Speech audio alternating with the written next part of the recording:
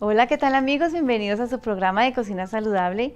Nuevamente con ustedes, soy Olga de la Lunada y vengo hoy con tres batidos antiinflamatorios.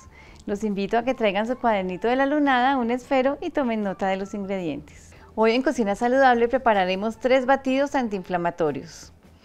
El primero es un batido de sábila. Los ingredientes son media hoja de sábila, un cuarto de taza de jugo de limón, una cucharada de miel y agua en cantidad necesaria. El segundo batido es un batido de apio y zanahoria. Los ingredientes son un tallo de apio con sus hojas, una zanahoria y agua en cantidad necesaria. Y el tercer batido es de piña y cúrcuma. Los ingredientes son una cucharadita de cúrcuma, dos tazas de piña y agua en cantidad necesaria. ¿Ya tomaron notas de los ingredientes? Bueno, son muy fáciles, poquitos, vamos a ver. Vamos a preparar entonces el de sábila primero. Entonces vamos a cortar media penquita de sábila, si está pequeña, si está muy grande, pues un trocito de unos 5 centímetros y la vamos a pelar. Vamos a quitarle primero los extremos y luego la vamos a pelar. Es importante que la laven muy bien porque ella suelta una sustancia que debemos quitársela porque puede ser tóxica.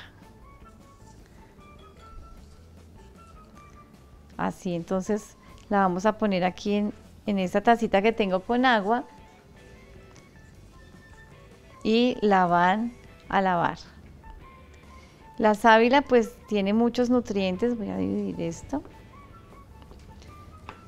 Es una de las plantas milagrosas que tenemos en nuestra madre tierra que nos regala porque ella tiene muchas propiedades, es antiinflamatoria, nos ayuda también en problemas de cicatrización, nos ayuda a limpiar, a desintoxicar.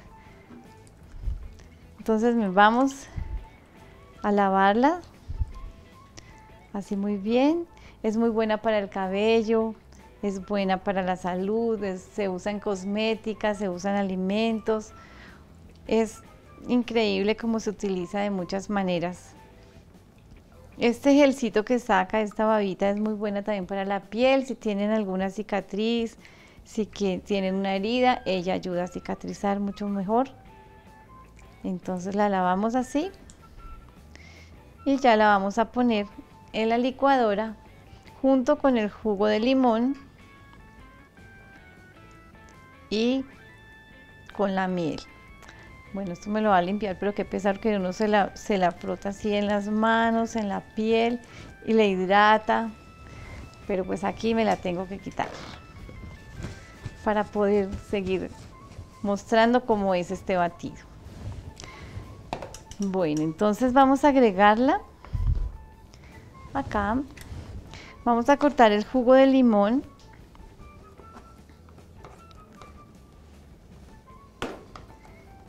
y le vamos a poner la miel para que nos dé pues un dulcecito y sea más agradable.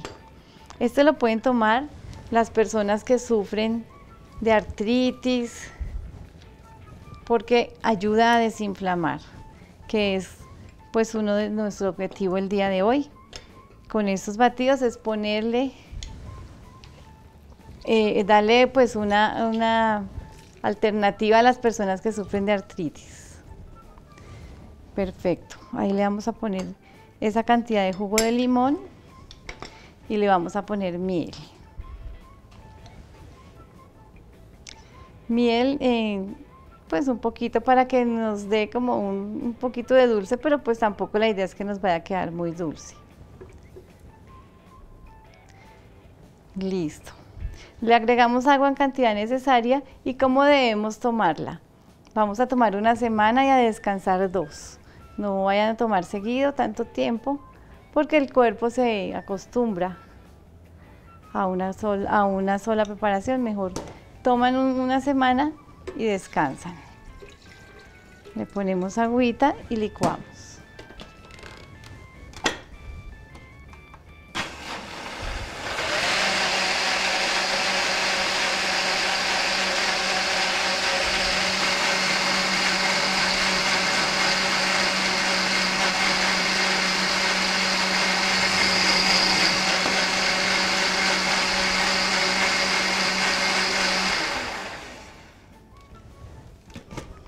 ¿A qué horas nos debemos tomar esto? Ojalá en la mañana, en ayunas, la pueden tomar. Nos queda como un ponche. Y ya tenemos el primer batido. Vamos a alistar todo para hacer el segundo batido.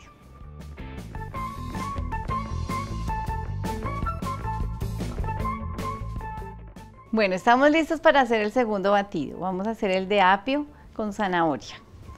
Entonces vamos a poner aquí la zanahoria. Y aquí la zanahoria es mm, más que todo pues para que nos dé un dulcecito al apio porque a muchas personas no les gusta el apio y sobre todo como le estamos poniendo las hojas, a veces nos queda amargo. Entonces la zanahoria pues nos ayuda a quitarle un poco ese amargo, pero el apio es excelente antiinflamatorio para las personas que sufren de artritis es muy bueno consumir este, el apio. Alguna vez hablábamos de los eh, alimentos que se parecen a los órganos. Pues el apio tiene la estructura de los huesos, por eso es bueno para todas las personas que sufren también de descalcificación o que sufren de artritis para desinflamar.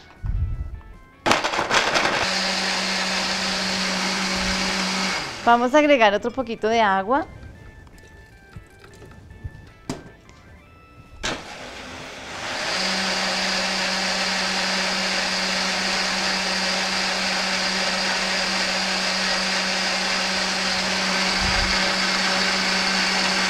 Bueno, la idea no es colarlo, la idea es que nos tomemos así toda la fibra también, por eso debemos dejarlo licuar bastante. Estos batidos los deben consumir inmediatamente eh, ustedes están eh, haciéndolo. No lo dejen para el otro día ni para más tarde. Lo preparan y lo consumen. Porque si no se empiezan a oxidar los nutrientes y la idea es consumirlos totalmente. Si tienen un extractor de jugos, excelente que hagan este jugo, este batido, pues que hagan un extracto de la, de la zanahoria y del apio. Entonces vamos a alistar los ingredientes del tercer batido.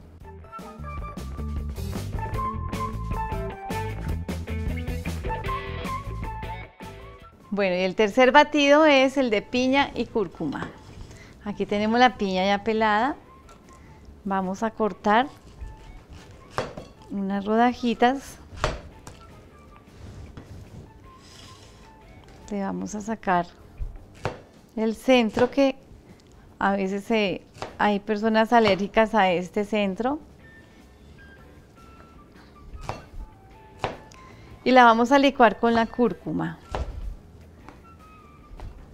Entonces la, la piña tiene una enzima que es la bromelina que también ayuda a desinflamar. Entonces si no la consumen así, si no la van a consumir en, eh, también la pueden consumir así, en, pedacito, pues, no en jugo. Pero acá la vamos a hacer con la cúrcuma. Recuerden que la cúrcuma también es anticancerígena, es antitumoral, antiinflamatoria. Entonces va a ser excelente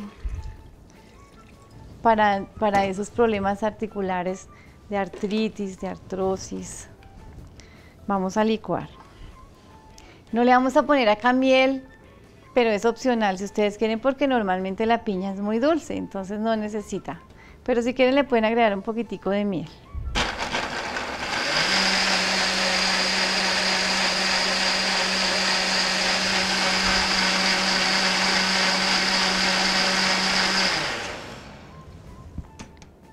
Listo, igual que los otros batidos, apenas lo preparen, lo toman.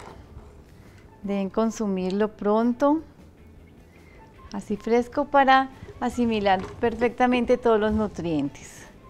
Entonces, como ven, hoy hicimos tres batidos súper fáciles de hacer y además, pues muy medicinales porque nos ayudan a desinflamar. Hay muchas personas que sufren de artritis, que sufren de dolores articulares, entonces ellos ayudan a desinflamar. Espero que nos contacten en nuestra página www.lalunada.com, en Instagram como La Lunada Cocina Vegetariana y también nos pueden ver en nuestro canal de YouTube en Hogar TV Channel. Espero que nos envíen sus fotos al Facebook y que nos visiten en nuestra página. Para mí fue un placer haber estado con ustedes, espero que les gusten, que los preparen y que me cuenten cómo les fue. Un abrazo para todos, hasta pronto.